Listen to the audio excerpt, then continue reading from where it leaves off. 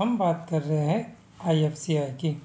आज के दिन की बात करें तो आईएफसीआई में फ़िलहाल हमको दो परसेंट तक की गिरावट के साथ हम देख सकते हैं स्टॉक जो है eighty two rupees point zero six पैसे पर ट्रेड होता नज़र आ रहा है। लगातार स्टॉक में गिरावट देखने के लिए मिली। 92 के लेवल से गिरावट दिखा रहा है। लेकिन इससे पहले वीडियोस में हमने डिस्कस किया था इस हाई को मेजर सपोर्ट के तौर पर 80 के लेवल को। हम देख सकते हैं उसी लेवल पर स्टॉक सपोर्ट लेता नज़र आ रहा है।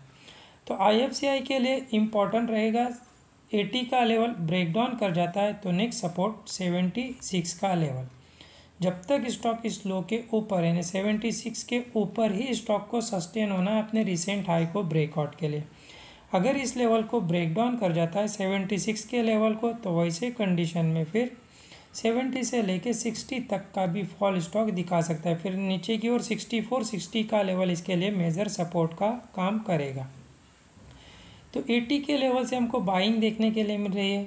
स्टॉक बाउंस बैक करता नज़र आ रहा है। ऐसी कंडीशन में 84 का लेवल इमीडिएट टारगेट बनेगा।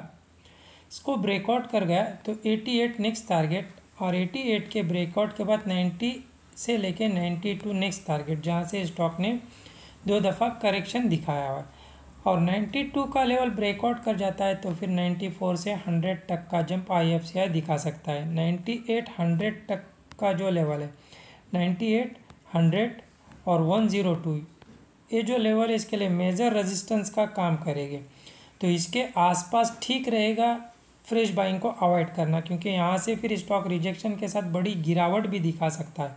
इसीलिए इस लेवल के आसपास के फ्रेश बाइंग को अवॉइड करेंगे। और अगर स्टॉक हंड्रेड का लेवल ब्रेकआउट करके दो से तीन दिन सस्टेन हो गया, इसको ब्रेकआउट करके दो से तीन दिन सस्टेन हो गया तो फिर उसके बाद लगातार तेज़ी देखने के लिए मिल सकती है। वीडियो एजुकेशन पर्पज़ के लिए कोई बाय सेल या होल्ड की सलाह नहीं है।